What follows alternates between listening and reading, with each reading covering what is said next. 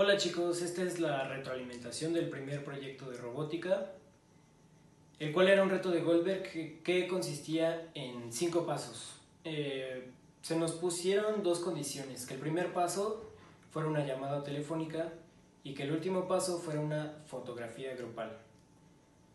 Ok, nuestro proyecto consistió en un tubo de vacío que dejaría soltar un perno ese perno le daría a una catapulta que soltaría otro perno que estaría en el plano inclinado y ese plano inclinado activaría la ballesta, la ballesta dispararía hacia el péndulo, el péndulo golpearía una ficha de dominó y las fichas de dominó empujarían un carrito con una pluma touch para sacar la foto grupal.